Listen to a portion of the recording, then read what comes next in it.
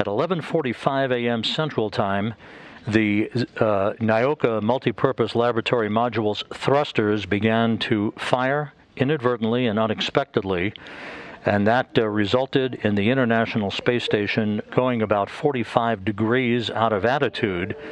Uh, the crew was never in any danger. Uh, the flight control team here in Houston immediately acknowledged uh, the situation.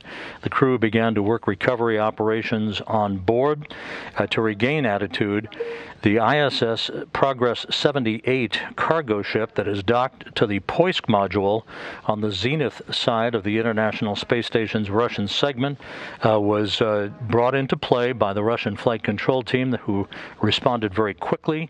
The Progress uh, fired, and uh, attitude has now been regained. Uh, so the station is back uh, in a normal attitude configuration.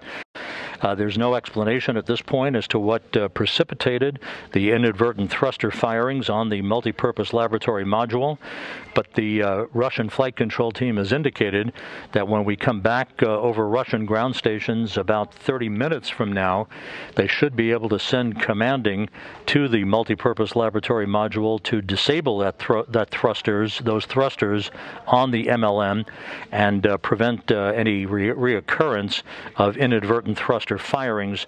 Again, the crew is not in any danger, never was in any, in any danger, and attitude control has been regained with the International Space Station through uh, first uh, the initial use of Zvezda service module thrusters, and now through the ISS Progress 78 thrusters on the zenith or space facing side of the International Space Station's uh, Russian segment.